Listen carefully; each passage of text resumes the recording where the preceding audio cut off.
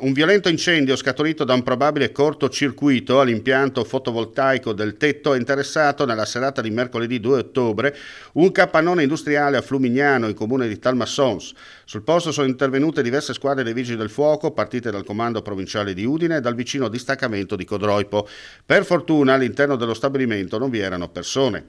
Estinte le fiamme, i vigili del fuoco hanno provveduto alla bonifica delle parti bruciate e alla messa in sicurezza della struttura. È stata effettuata anche l'evacuazione evacuazione forzata dei fumi presenti all'interno. Le operazioni dei vigili del fuoco sono terminate poco prima dell'alba.